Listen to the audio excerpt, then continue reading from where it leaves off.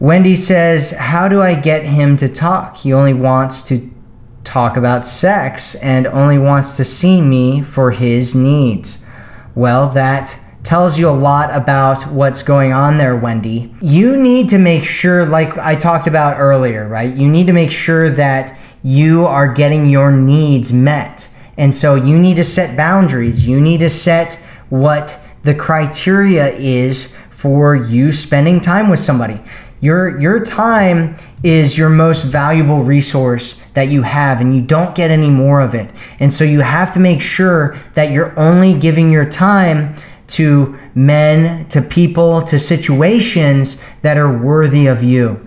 And so if you want something more than just a casual relationship with a man, which is what it sounds like you want, then you need to make sure that you aren't just getting into situations where you're only talking about sex, where you're only going over at night, where you're only doing things where you're hanging out and hooking up. You need to set up a situation and create boundaries and create a relationship where you're getting more. And if you're not getting those things, you need to make sure that you're going out and talking to other men and creating abundance for yourself and getting into situations where you're experiencing that. That way, it's not like, hey, I have this one guy and there's this only my only hope is with this one guy and I have to make him love me and do the kind of relationship things that I want even though that's not what he wants clearly and he's showing you with his actions what it is that you want